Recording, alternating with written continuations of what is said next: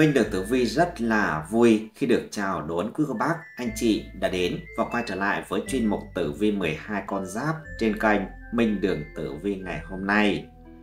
Lần đầu tiên cho phép 30 tập chương trình Minh Đường Tử Vi, những người làm chương trình Minh Đường Tử Vi xin được gửi lời chào, lời chúc tới quý cô bác, anh chị có được vận trình nhiều cát tinh trợ lực, thần tài dẫn bước vượng vận quý nhân, sự nghiệp hiện vinh, tài lộc thăng tiến, có nhiều cơ hội trúng số, trúng thượng đến, giàu có hơn người, đổi đời ngoạn mục.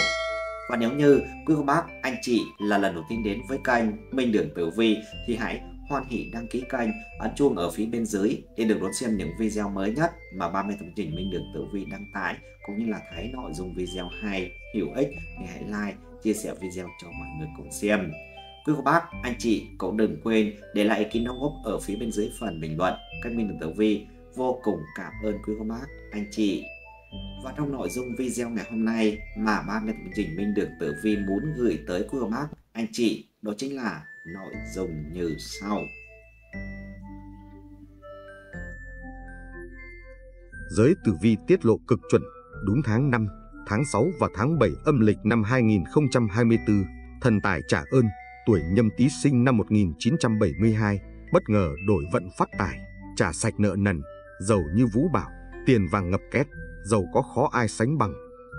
Kính thưa quý khán giả, và đặc biệt là quý mệnh chủ tuổi nhâm tý sinh năm 1972 thân mến, nhiều người hỏi tôi rằng, không hiểu sao họ sống đã quá nửa đời người, mà vẫn không hết khổ, tại sao làm việc chăm chỉ quanh năm ngày tháng, mà vẫn nợ nần, túng quẫn, không ngóc đầu lên được nhưng lại có những người đẻ ra đã vượt qua vạch đích, chẳng cần làm gì, cũng thừa hưởng cả gia tài, cơ nghiệp bạc tỷ, tiêu mấy đời mấy kiếp cũng không hết. Đó là do số mệnh an bài của mỗi người, và chỉ những người nhìn thấy trước vận mệnh thì mới có thể thay đổi hiện thực khắc nghiệt đó. Theo những bậc thầy tử vi phương Đông, họ dựa vào mệnh số con giáp và ngày tháng năm sinh, cùng với sự xem xét dịch chuyển của các sao chiếu mệnh, thì thấy được duy nhất trong năm 2024 này tuổi nhâm tý sinh năm 1972, may mắn được rất nhiều phúc tinh chiếu mệnh, thần tài che chở, mà ban cho vận may bất ngờ, và được cả thiên thời, địa lợi, nhân hòa, mà phất lên như diều gặp gió.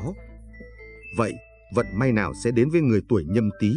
Làm sao để tận dụng triệt để các cơ hội đang tới? Tất cả những điều này đều sẽ được Minh Đường Tử Vi giải đáp trong video ngày hôm nay. Xin mời quý khán giả cùng theo dõi và chiêm nghiệm. Sự may mắn cũng như vận quý nhân của mệnh chủ không chỉ đơn giản do mệnh tốt, mệnh quý mà có được còn là nhờ chính bản thân con giáp này tốt bụng và chân thành trong đối nhân xử thế. Dường như chẳng khó khăn nào có thể làm nhâm tí ngã gục khi mà luôn có quý nhân bên cạnh, mệnh chủ dũng cảm, kiên cường, làm gì cũng nỗ lực hết mình, nên sẽ được mọi người yêu mến, cũng được không ít người giúp đỡ, ủng hộ trong công việc cũng như trong cuộc sống. Nhờ thế mà đường đời cũng bằng phẳng hơn gấp nhiều phần dù đang trong hoàn cảnh khó khăn, thì con giáp này cũng sẽ lạc quan, yêu đời, coi việc giúp người cũng là giúp mình, chứ chẳng đòi hỏi được báo đáp. Con giáp này cả đời luôn được quý nhân ở bên tương trợ, cũng một phần nhờ thế mà may mắn luôn ở bên mình, muốn gì được nấy. Trước khi đến với phần luận giải chi tiết về tử vi tháng 5, tháng 6 và tháng 7 âm lịch 2024, Minh Đường Tử Vi sẽ cùng quý cô bác điểm nhanh tính cách của người tuổi nhâm tý sinh năm 1972 có đặc điểm gì nổi bật ngay sau đây. Đầu tiên, đặc trưng tính cách và vận số cuộc đời tuổi nhâm tý, sinh năm 1972, nam nữ mệnh. Tuổi nhâm tý, sinh năm 1972, mệnh mộc, tang đố mộc, gỗ cây dâu, khắc ốc thượng thổ, con nhà thanh đế, quan lộc, tân khổ, xương con chuột, tướng tinh con heo, cuộc đời được ông tử vi độ mạng. Người tuổi nhâm tý được Phật Bồ Tát Thế Chí ban phúc, Phật Bồ Tát ban trí, thiên thủ quan âm hộ mệnh. Người tuổi nhâm tý thường là người tiên phong dẫn đầu trong công việc, họ có tài lãnh đạo, luôn đóng góp những ý tưởng độc đáo, sáng tạo khi làm việc tập thể. Họ sẵn sàng đối mặt với những khó khăn để đem lại thành công, sự giàu sang cho mình. Họ sẽ không bao giờ hứng thú với những công việc nhàm chán, đơn giản. Quý mệnh nhâm tý muốn thử sức mình trong những lĩnh vực khó khăn khắc nghiệt hơn. Họ dành cả đời để theo đuổi tiền bạc và địa vị. Nếu như không có hai thứ đó, cuộc sống của họ tưởng chừng như không còn ý nghĩa. Quý mệnh nhâm tý rất giỏi trong việc kiếm tiền, nhưng họ không chi tiêu hoang phí, ngược lại còn rất biết tiết kiệm. Họ là người cởi mở, thân thiện trong cuộc sống, luôn tốt bụng giúp đỡ mọi người xung quanh. Họ có khả năng điều khiển cảm xúc, hành động của bản thân, không bao giờ mất tự chủ trong nóng giận. Bởi vậy, họ xây dựng được nhiều mối quan hệ thân thiết và gắn bó. Quý mệnh nhâm tý có trí nhớ khá tốt, điều đó khiến cho họ thu thập và lưu trữ được một lượng thông tin khổng lồ. Khi hỏi quý mệnh nhâm tý về bất kỳ lĩnh vực gì, thì họ sẽ chia sẻ một cách cởi mở nhất. Nếu như bạn đang lo sợ họ sẽ gặp nguy hiểm, thì tốt hơn bạn nên lo cho chính bản thân mình, bởi bản năng của người này là chinh phục khó khăn, thử thách, nguy hiểm. Quý mệnh nhâm tý nhanh nhẹn, thích nghi với sự thay đổi của hoàn cảnh, làm công việc gì cũng nhất định phải đạt được thành công như ý thì mới thôi. Với quý mệnh nhâm tý, họ tuyệt đối không để thua kém một ai. Đôi khi những tham vọng về công danh, địa vị, tiền bạc khiến cho người này trở nên thực dụng trong mắt của mọi người. Quý mệnh nhâm tý khá cẩn thận và nghiêm khắc trong công việc. Nếu trở thành người lãnh đạo họ sẽ giám sát nhân viên của mình rất kỹ càng. Không một hành động sai trái nào có thể lọt qua được tầm mắt của người này. Họ tuyệt đối không thích ưa nịnh và không bao giờ hợp tác với người lười biếng, há miệng chờ sung. Họ không bao giờ chi tiêu một cách hoang phí trong mắt của mọi người. Quý mệnh nhâm tý rất cẩn thận và chặt chẽ, chẳng ai có thể lấy đi bất kỳ thứ gì của họ. Quý mệnh nhâm tý rất kín đáo, nếu là những chuyện bí mật thì họ sẽ không chia sẻ ra bên ngoài. Người này sống giàu tình cảm, họ yêu thương, quan tâm chăm lo hết mực cho gia đình của mình. Dù rất bận rộn về công việc, nhưng họ luôn biết cách sắp xếp thời gian để bên cạnh gia đình, tận hưởng không khí ấm áp và hạnh phúc.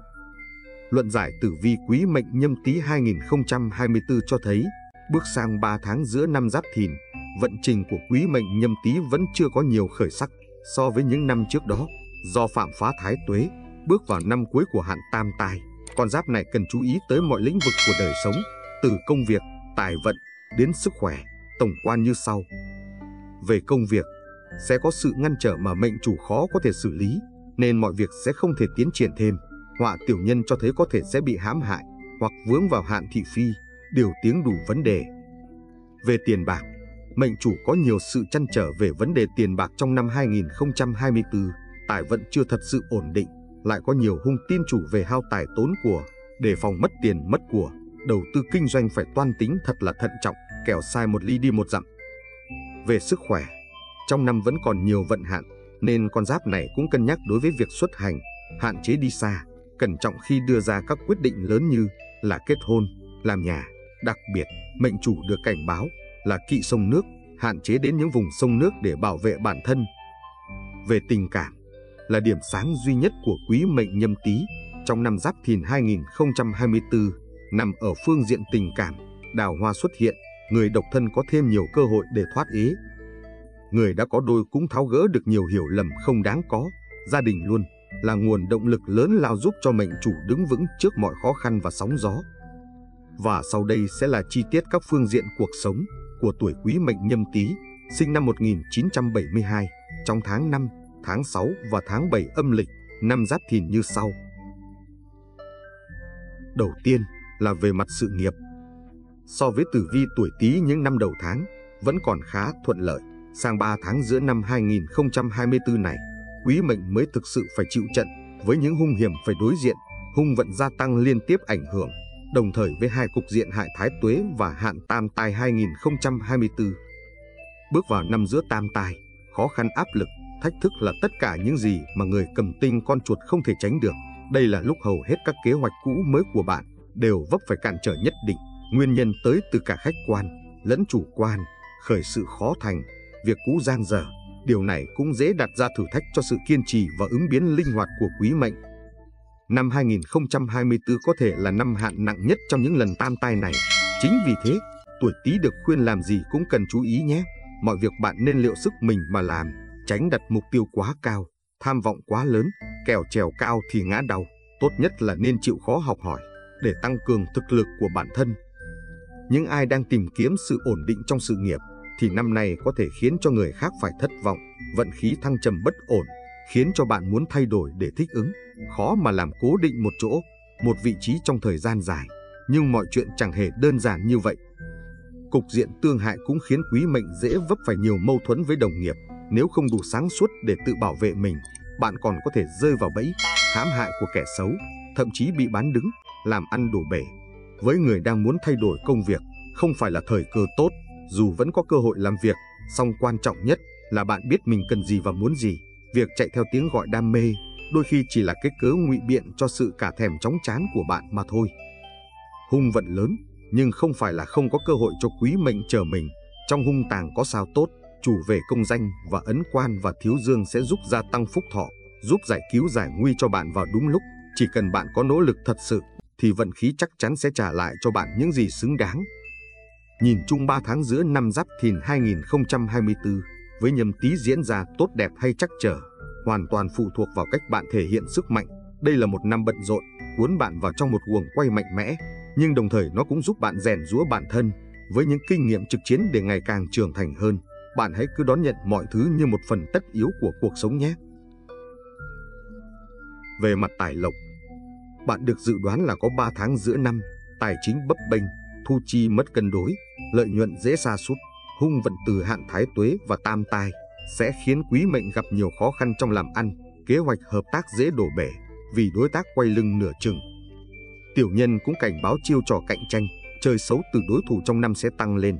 Chính vì thế, quý mệnh hết sức chú ý, quý mệnh tốt nhất nên cân nhắc khi tham gia các dự án, công việc, suy nghĩ kỹ trước khi đầu tư, tránh tiền mất tật mang.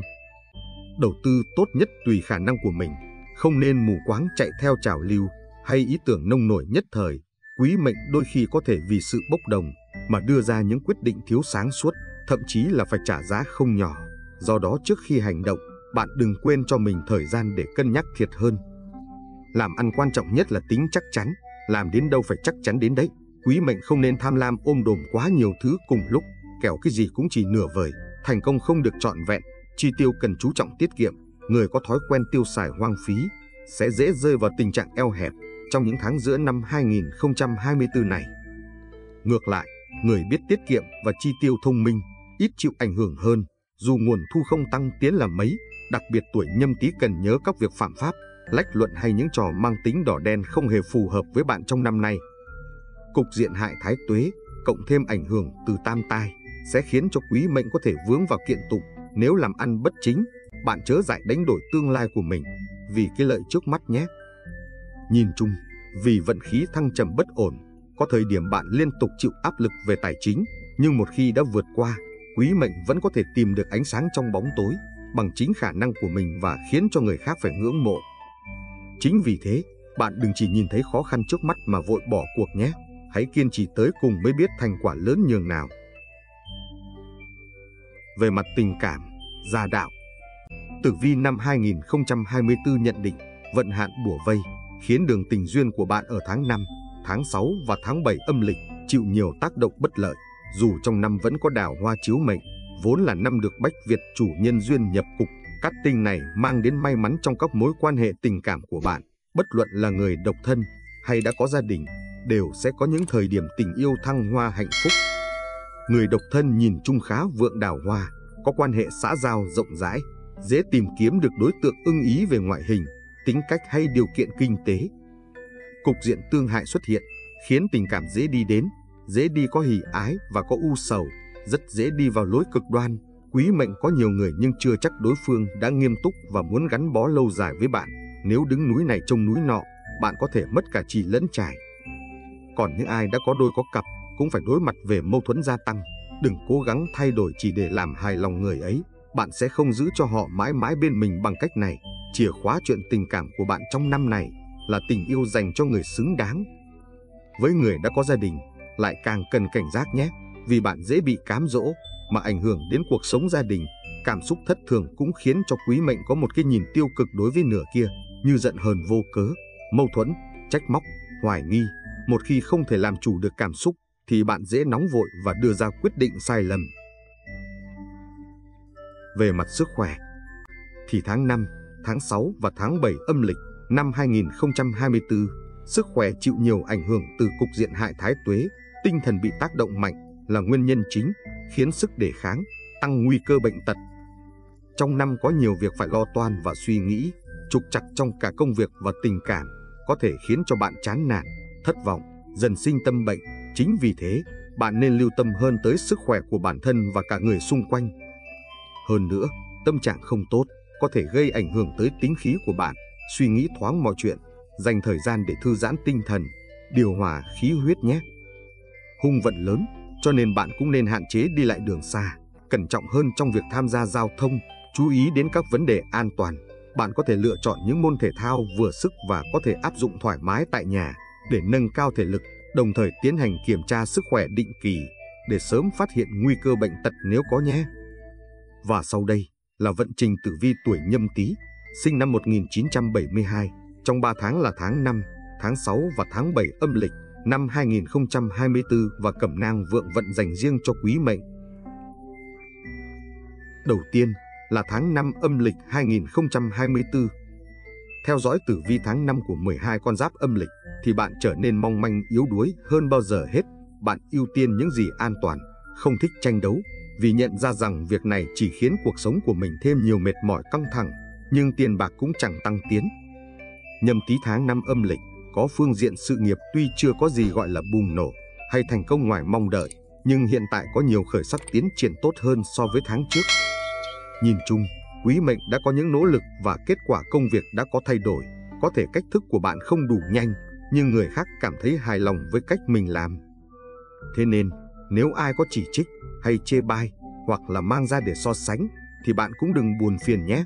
May mắn là bạn có Thái Dương cát tinh phù trợ, cho nên những khó khăn của tuổi nhâm tý trong tháng mới cũng lần lượt được tháo gỡ, mang lại cho bạn sự ổn định, cân bằng mà bạn muốn có. Càng về cuối tháng, bạn sẽ càng bớt đi sự tranh đua, tìm được hướng đi, hướng phát triển cho lĩnh vực của mình mà không bị phụ thuộc quá vào ngoại cảnh. Về tài lộc của bạn trong tháng năm âm lịch thì thương quan xuất hiện có thể gây mất mát tiền bạc cho quý mệnh bất cứ lúc nào. Chính vì thế bạn không nên lơ là chủ quan, mỗi khi đi ra đường nên hạn chế việc mang theo quá nhiều tiền mặt, nên ưu tiên để tiền trong thẻ. Ngoài ra, đừng chọn lựa trang phục đắt tiền, kẻo gây chú ý với kẻ gian. Đừng để công sức của bạn dành tiền suốt một thời gian qua, chỉ vì một chút bất cẩn mà mất hết. Nếu có thể thì nên đơn giản trong mọi việc nhé, để đảm bảo an toàn cho mình. Thêm nữa, vì tài chính chưa gia tăng được như mong muốn, bạn cũng hạn chế việc mua sắm, kể cả là món đồ rẻ hay là giảm giá.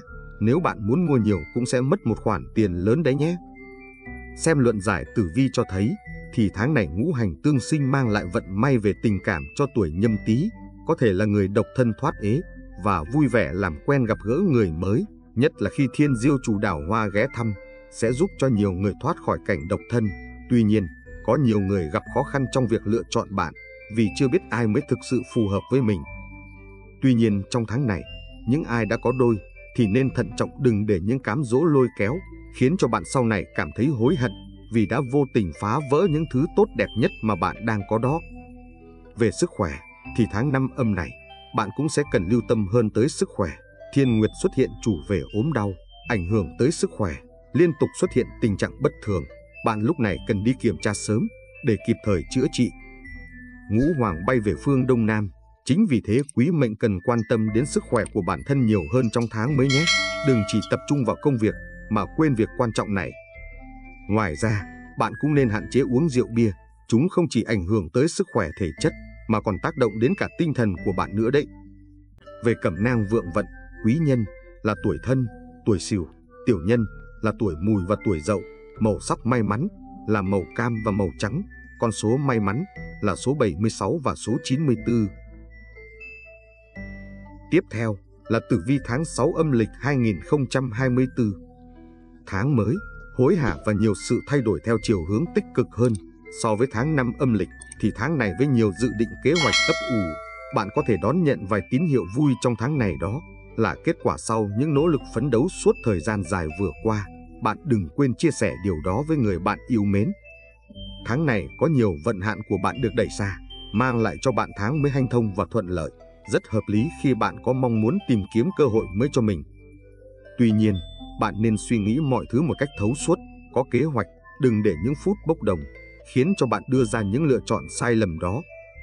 Chính ấn xuất hiện trong tháng mới nâng đỡ và đẩy công việc của bạn thuận lợi hơn, khi mà mọi thứ đi vào guồng quay sẽ đỡ tốn công sức hơn trước đây với sự xuất hiện của các tinh hỗ trợ, cho nên tháng mấy này bạn có tài lộc rất dồi dào, có nhiều cơ hội mới thu hút tiền bạc về mình, có nhiều người làm ăn có lợi, số đơn đặt hàng tăng lên đáng kể trong tháng 6 âm lịch này. Tuy nhiên, ngũ hoàng nhập cục chính Tây báo hiệu, quý mệnh trong tháng này, dễ bị tiểu nhân hãm hại, dẫn đến họa kiện tục, dính dáng tới pháp luật.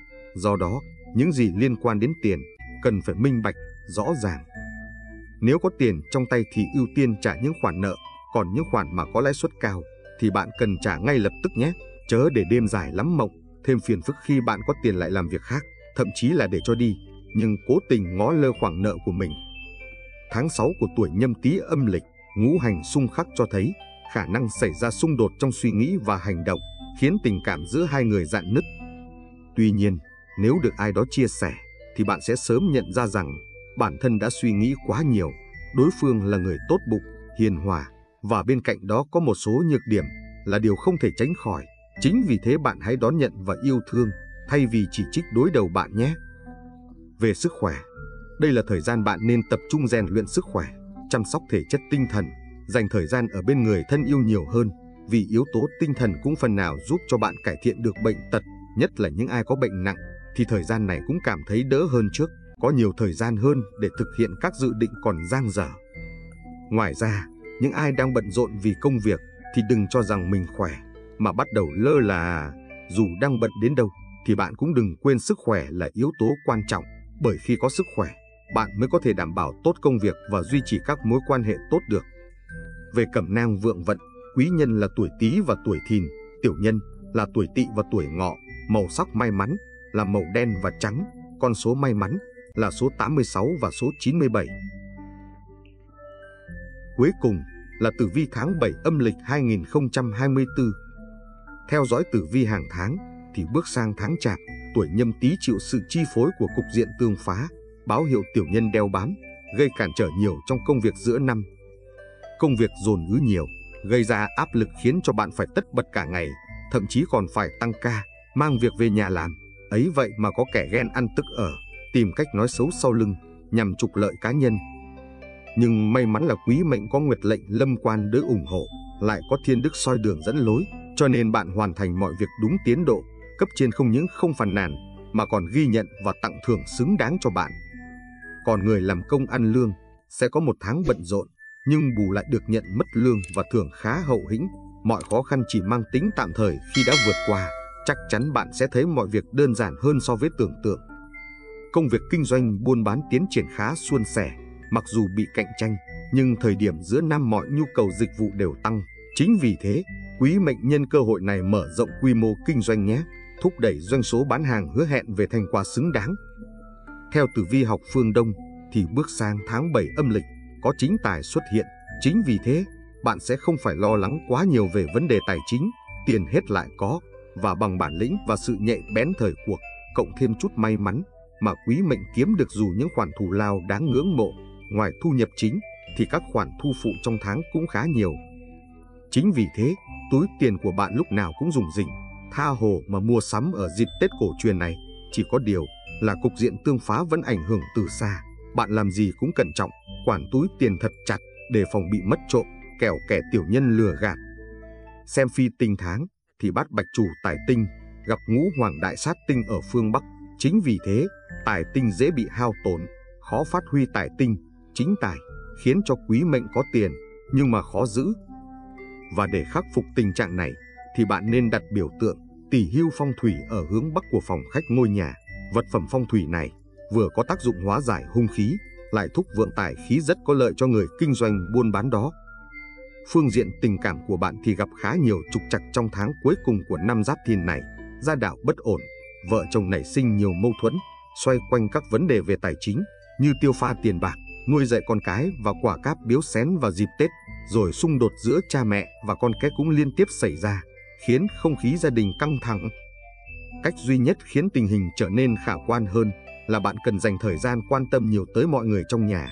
Chính bạn chứ không phải ai khác sẽ đứng ra làm sợi dây kết nối mọi thành viên thông qua con đường đối ngoại để có thể sẽ chia và hàn gắn xung đột. Mặc dù dấu hiệu đào hoa không đến nỗi quá tệ, còn người độc thân chưa thể tìm thấy đối tượng ưng ý vì quá kén chọn. Trong tháng thổ vượng thì tính khí tuổi nhâm tý bất ổn, tâm tính thay đổi nhiều, có xu hướng bảo thủ khi xử lý mọi việc. Chính vì thế mà tinh thần luôn bị ức chế áp lực, gây ra tình trạng mệt mỏi, căng thẳng kéo dài, làm ảnh hưởng xấu tới sức khỏe. Tháng này, quý mệnh có lộc ăn uống, thường xuyên được mời tiệc tùng, khó tránh việc phải uống nhiều bia rượu, ăn uống quá độ, khiến cho hoạt động của gan và thận bị quá tải. Điều này khiến cho cơ thể cảm thấy ì ạch, ăn uống khó tiêu, da rẻ nổi nhiều mụn trứng cá, giấc ngủ bị gián đoạn.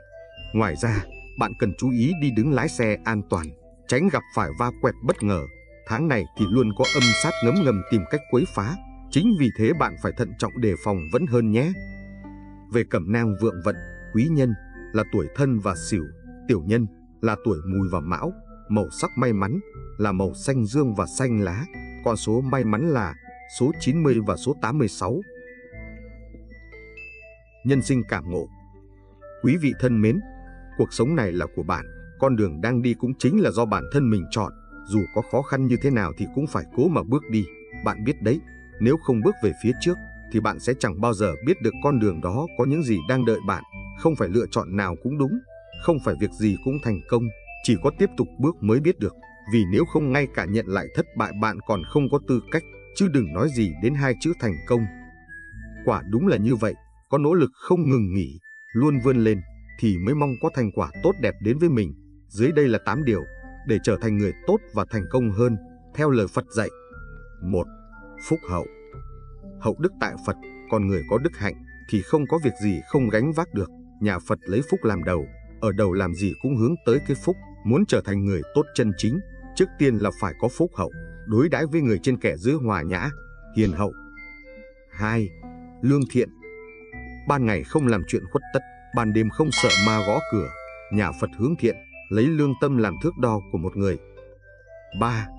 Giữ chữ tín Người có tín thì vạn người tôn trọng, người bất tín thì vạn người khinh khi, làm người lấy chữ tín dân mình, không dối trá, thất hẹn với người khác, chính là tiêu chuẩn Phật dạy làm người tốt. 4. Khoan dung Khoan dung chính là vĩ đại, làm người không nên chấp nhận thất bại, mà phải có cái nhìn thoáng rộng, sẵn sàng tha thứ cho sai lầm, để giáo hóa cái sai bằng tấm lòng. 5. Thành thật Điều cơ bản này hẳn ai cũng biết, thật thà là cha giả dối, làm người phải đàng hoàng, thẳng thắn, kẻ lươn lẹo, dối trá, tất bị quả báo. 6. Khiêm tốn Phật dạy làm người tốt, tức là không được ngừng tu dưỡng, cố gắng luôn kính trên nhường dưới, thắng không kiêu, bại không nản, khiêm cung giữa mình. 7. Chính trực Người sống ở đời phải chính trực, không rèm pha su nịnh, dám nhìn thẳng vào sự thật, dám đấu tranh vì lẽ công bằng. 8. Kiên trì Phật dạy làm người tốt và thành công hơn trong cuộc sống thì phải thật kiên trì, dũng cảm đối diện, không nao núng, chỉ cần tu dưỡng tốt, công lao không bao giờ phí.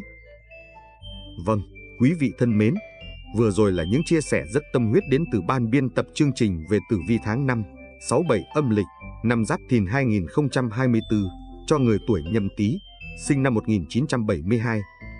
Minh Đường Tử Vi rất mong rằng quý vị sẽ đón nhận được nhiều may mắn trong tháng mới và làm giàu cho bản thân mình, cho xã hội. Minh Đường Tử Vi vô cùng cảm ơn quý vị đã quan tâm và theo dõi chi tiết hết video của chúng tôi. Mọi ý kiến đóng góp và thông tin cần được tư vấn hỗ trợ, vui lòng comment ở bên dưới và bình luận. Ban biên tập chương trình sẽ tư vấn và giải đáp miễn phí cho quý vị trong thời gian sớm nhất.